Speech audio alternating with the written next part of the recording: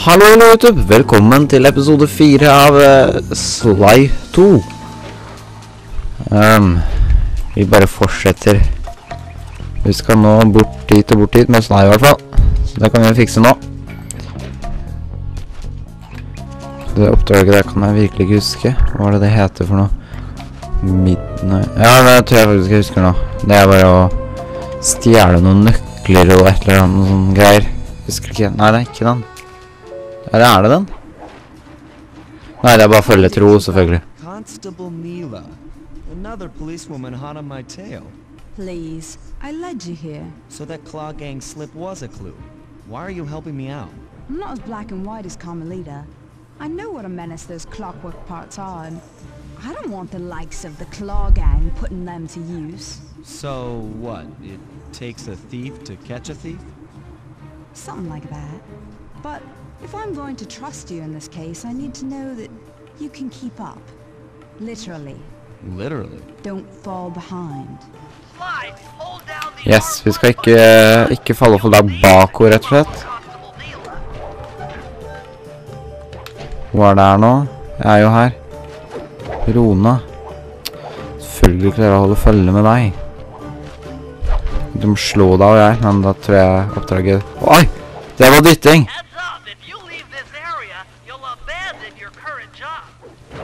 Ja, ja, ja, ja. Jeg er klar over det. Men jeg ble dyttet, skjønner du. Så jeg måtte forbi der. Det er, er slemt av deg å drive og dytte, altså. Det... Hoppe, hoppe, hoppe. Hoppe, hoppe, hoppe. Det er veldig flink til å hoppe der også, da. Det skal sies. Jeg har så lyst til å slå henne, men da taper jeg oppdraget, og da må jeg ta det på nytt og sånn, og det er så forskjellig. Men det, det frister veldig. Det er hver gang jeg tar det opptaket, så slår jeg henne. Bare fordi jeg kan.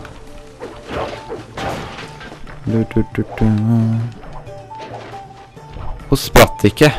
Da er du, feit, da. Ja da.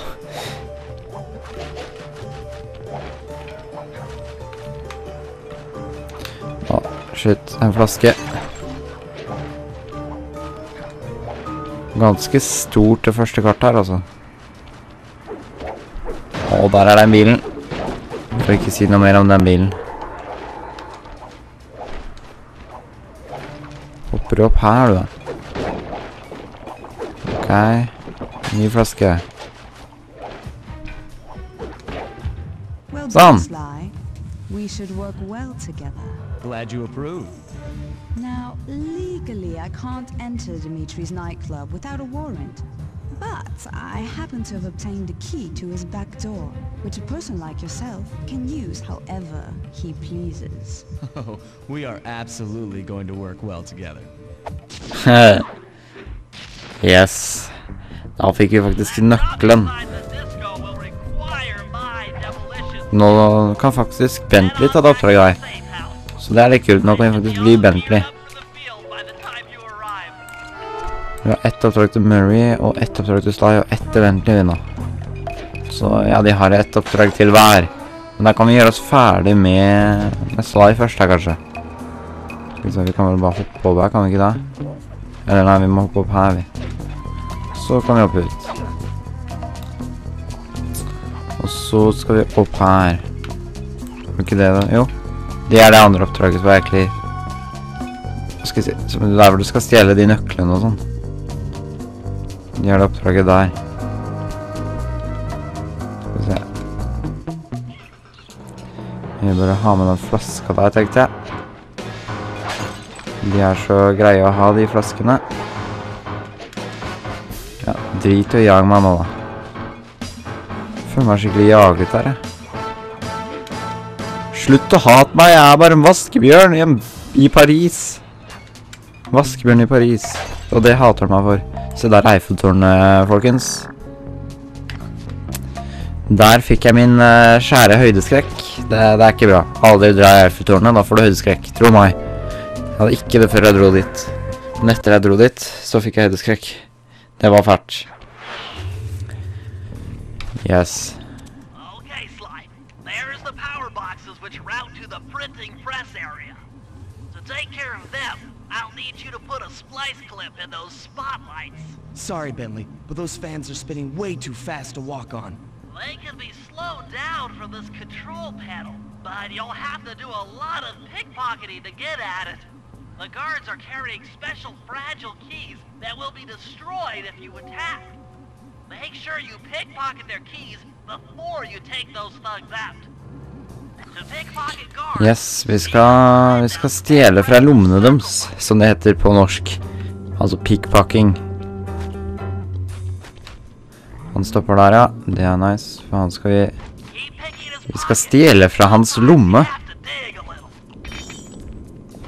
Da fikk vi første nøkkelen. Og så fikk han en død. Det er nice. Da har vi ett step eh, videre fra... Skal vi se. Det er to vakter der nede også. Men jeg tror vi kan ta de senere. Akkurat nå er det lettere å ta... Kan godt ta han der. Han er jo... Shit, shit, shit. Han skal opp der, han vet du. Han er dum. Der fikk vi enda en fan control key. Og så fikk han en død. For jeg liker ikke å ha så mange vakter rundt omkring her. Det er litt sånn skummelt. Vet aldri hva vaktene finner på, ikke sant? Hva skjedde der? Ok. Så vi bare stjeler fra lomma hans, er sånn så vi kan drepe den fort. Nå har vi halvparten av nøklene som vi skal ha. Eh, to av de driver og går i sirkel, og så er det en som står her oppe en plass, er det ikke det? Jo. Det er han som sovner av og til, det. Han som våkner, sovner, våkner, sovner sånn hele tida. Han, eh, han liker ikke å være på nattvakt, rett og slett. Nei, han sover hele tida, han. Ah, han skal egentlig drive og se på TV-en, han. Sånn overvåkning.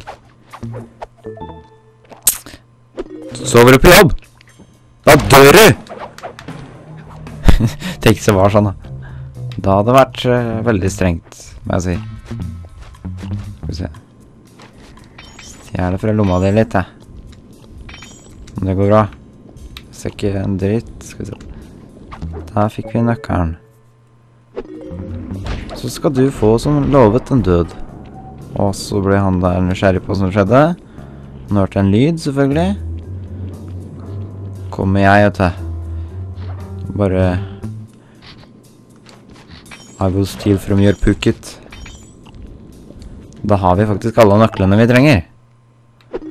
Og alle seks fikk en død. Det er nice. Da går vi opp til kontroll... eh, kontrollpanelet til, eh, til vifta. Fordi vi skal skru den av, eller vi skal dempe farten på den i hvert fall. Jeg tror vi faktisk skrur den helt av, jeg. Skal jeg huske helt feil. Det gjør jeg som regel ikke, altså.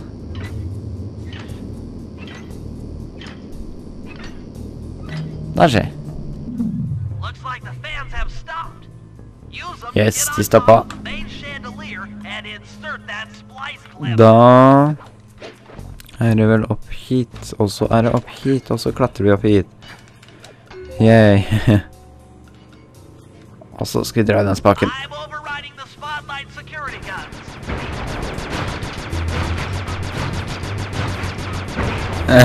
OP.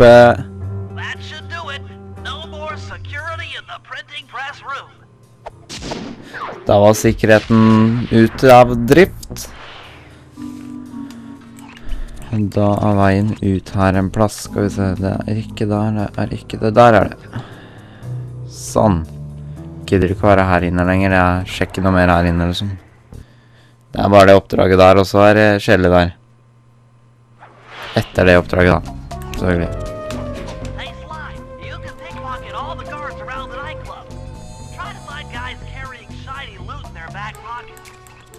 Nå er det bare Bentley og Sly som har oppdrag. Damn! Halvparten av flasken er funnet. Det er ikke dårlig. Gotta find them all. Jeg har ikke funnet alle engang, så får jeg trophy. Det er, det er bra. Så er det der vi skal inn i hovedkvarteret vårt. Vårt Slyo Quarter, eller hva jeg skal kalle det. Skal vi ta, vi tar Murray først, og så blir vi Bentley til slutt, tror jeg. Mm, Oppdraget hans er bortover der. Ja, jeg tror jeg faktisk husker det her. Du skal ødelegge alle de tre sånne bokser rundt omkring. Yes, jeg tror jeg husker det faktisk. Det er egentlig ganske lett oppdraget der. Det er i hvert fall ikke vanskelig. Yes, locate and destroy alarms. Er det vi skal gjøre.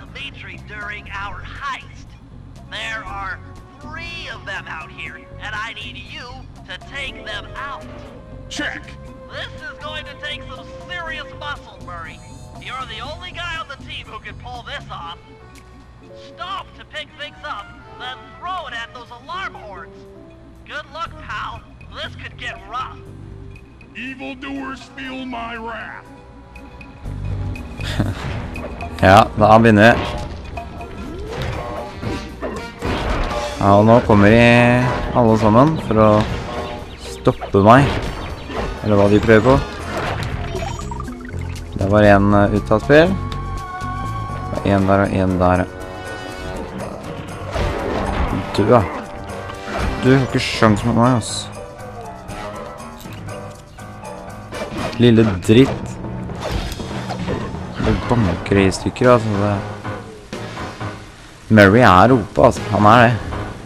Når det er han, så er jeg Trenger i hvert ikke være redd for å bli drept, for å si sånn.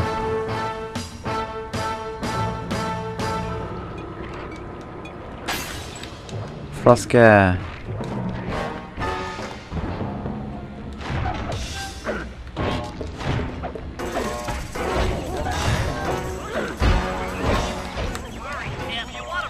Kan jeg få en av dere, eller? Tusen hjertelig. Da kaster vi en avis, heter det. Så på å si paper, det heter vel på, på engelsk, men jeg driver ikke med engelsk let's play, gjør jeg det da? Hm, nei, jeg tror ikke det. Det tror jeg i hvert fall ikke at jeg gjør. Nei. jeg har jo en engelsk kanal, men jeg legger ikke så veldig mye ut her for tida. Shoot, shoot, shoot, shit. Flaske. Flasketorten peker på Ludvig. Shit, nå er vi en sånn OP-fyr her. Han må vi nesten ta ut, altså. Her, han fyren der. Nesehornbuden. Det var han her for noe. Han grisen. Ikke nesehorn, det er veldig feil å si. Men grisegutten. Han har vi ikke noe plass til her, altså. Jeg treffer ikke. Jeg må gå enda nærmere. Kan jeg få den?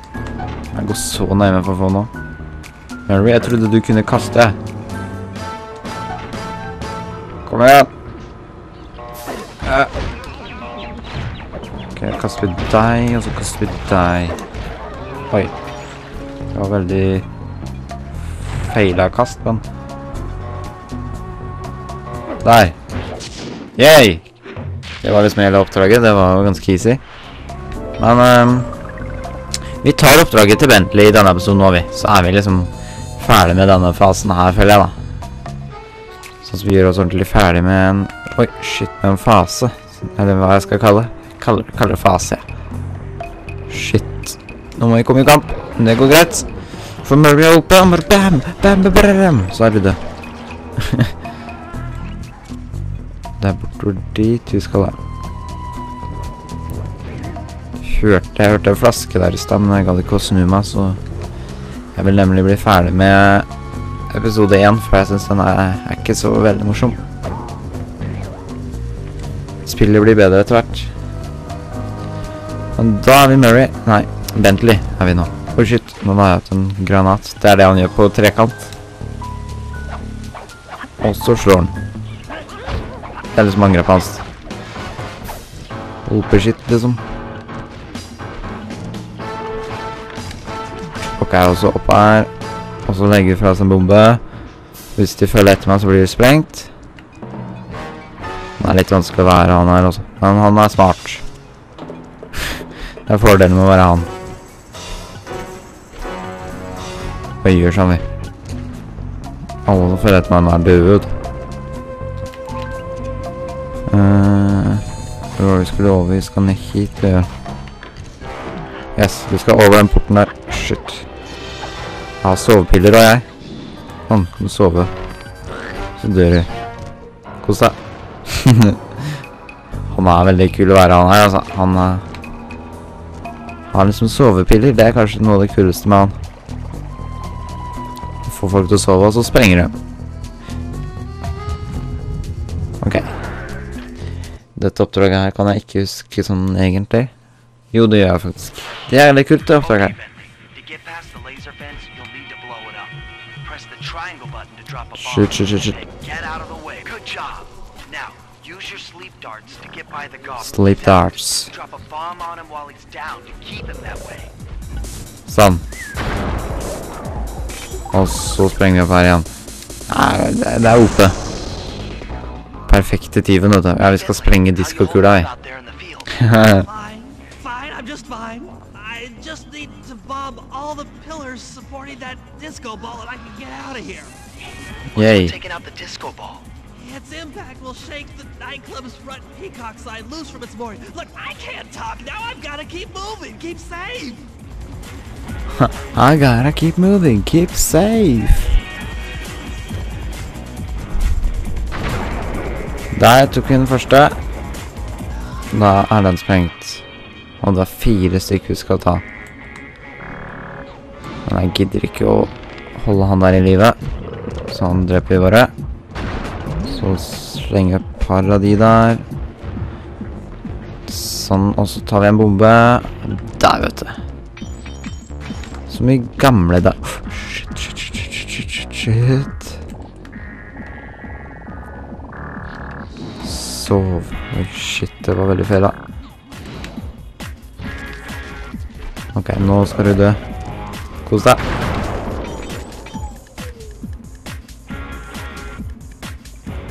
Skal vi ta ut han der først da? Det er kanskje lurt. Ok, og så gjør vi... Sånn, vet du. Ha det bra.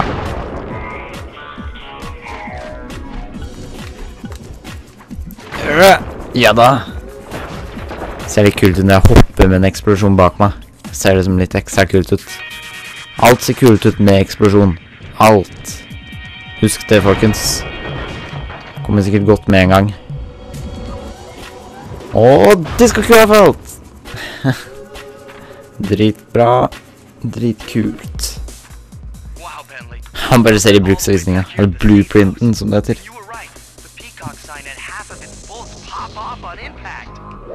Nice. Checklist down. Nå får vi en ny presentasjon, får vi ikke det? Jo. Da ser vi den før vi avslutter. Fellas, the dominoes are all in place. Time to pull off the big heist. First, Murray will help me break into the old water tower. From there, I should be able to shut down the plaza fountain. Dimitri's sure to send someone out to get the repair truck. Sly, you'll pickpocket the truck keys off this guy once he shows up. Then hand them off to me and Murray in the plaza. We'll go steal the truck while you climb to the top of the nightclub's peacock sign. When you're in position, Murray will fire the truck's winch line up to you and will use it to pull down the sign. If my calculations are correct, the impact should create an entrance to the printing press room. Then, Sly, you jump in, grab the clockwork tail feathers, and we all get the heck out of here. Yes, det er da siste oppdrag i episode 1. Men det tar vi altså i episode 5. Så vi snakkes da, folkens. Husk å trykke liker, og husk å abonnere, så snakkes vi. Ha det bra.